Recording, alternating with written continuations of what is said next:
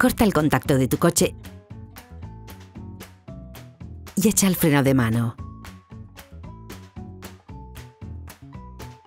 Para cambiar el filtro de gasolina, tienes que levantar la parte delantera y trasera del coche del lado del pasajero para poder meterte fácilmente debajo del coche y acceder al filtro. Coloca el gato en la parte de atrás del coche, levanta esta parte y coloca el coche en las borriquetas. De todas maneras, te aconsejamos que veas el tutorial Levantar el coche con seguridad antes de realizar esta etapa. El filtro de gasolina está situado en el lado del pasajero, en la parte de atrás del coche.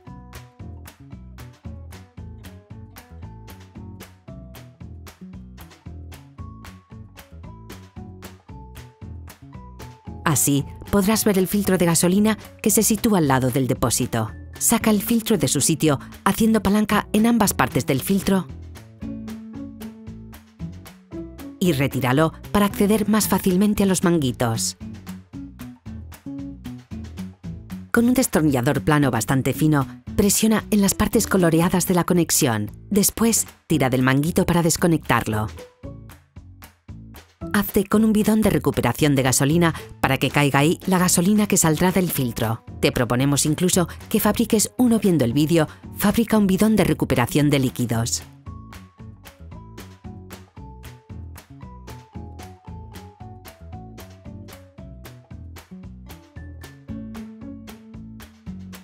Vacía el filtro.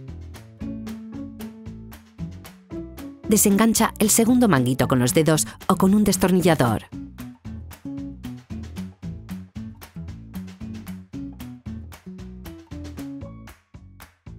Quita el filtro.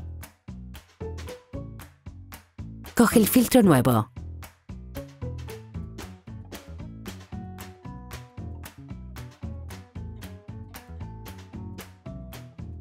Quita las capuchas de los manguitos.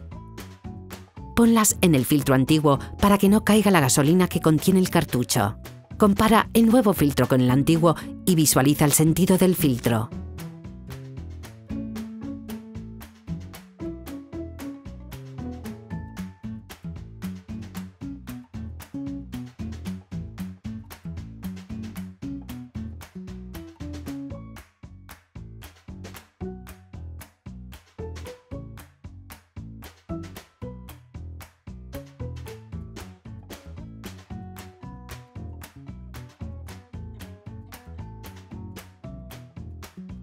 Vuelve a colocar los dos conectores de gasolina enganchándolos bien al filtro.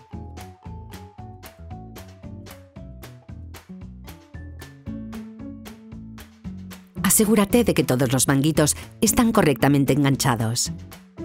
Una vez enganchados correctamente, vuelve a colocar el filtro empujándolo en su sitio y comprueba que está bien bloqueado. Ahora puedes volver a colocar el coche en el suelo.